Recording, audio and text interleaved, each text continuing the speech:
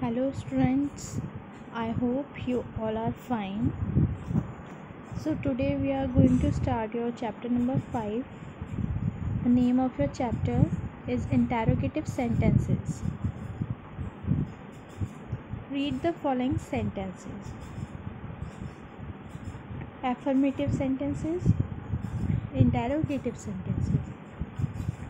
In chapter number first i told you that interrogative sentences is um, the sentence which asks questions okay and ends with question mark this is her bicycle is this her bicycle they were eminent painter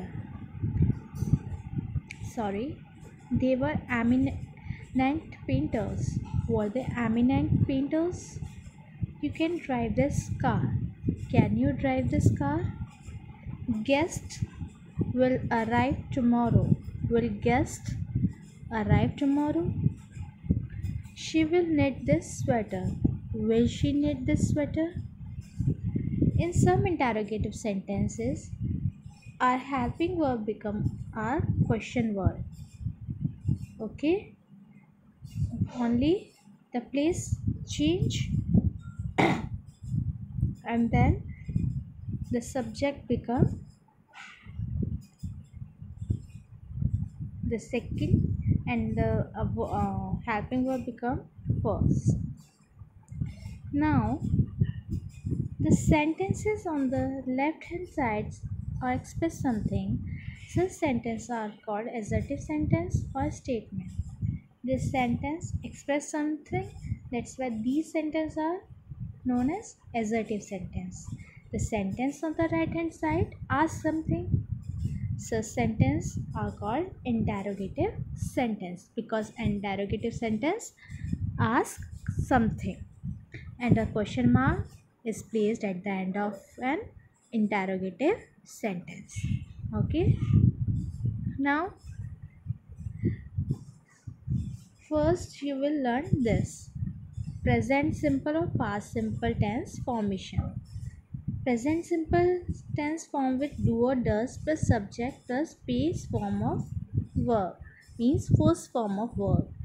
Does with plural and sorry do with plural and does with singular. Did plus subject plus base form of verb verb with past simple tense. The moon shines at night does the moon shine at night? He gets a small salary. Does he get a small salary? All kinds of people live in Delhi. Do all kinds of people live in Delhi? The girl laughed. Did the girl laugh? The driver stopped at the bus. Did the driver stop the bus? All these sentences ask question. And these are assertive sentence because they are simply telling us uh, something. Okay?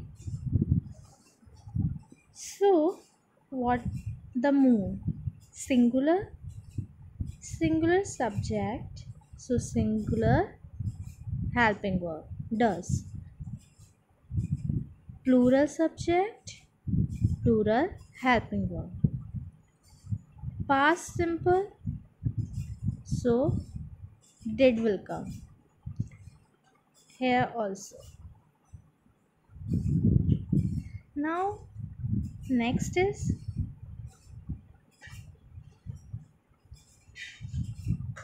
present continuous and past continuous tense formed as mr plus subject plus present participle means ing form. Was were with past continuous was were subject plus present participle. Okay? He is writing a letter. Is he writing a letter? I am doing my work. Am i doing my work? They are going abroad. Are they going abroad? He was making a noise. Was he making a noise they were bathing in the river. Were they bathing in the river? With plural we use were. With singular subject we use was. With i we use am. With sing plural we use are. And with singular subject we use is. Okay students? Now there are some general rules for making interrogative sentence. The helping verb comes before the subject and the main verb comes after the subject. So the the train is arriving at the station. Here the train is subject is is helping verb and arriving is main verb. So the helping verb comes before the subject the train for making interrogative sentence. And your main verb comes after the subject. This. The train is subject and your main verb comes after the subject. And then question mark. We use the question words what, where, when, why, which, who, whom, whose and how in the interrogative sentence to ask for information. Question words are placed in the beginning of the sentences. They are WH words and then helping verb, subject and main verb. Okay. So this is the chapter for you for today. Read it again. Thank you.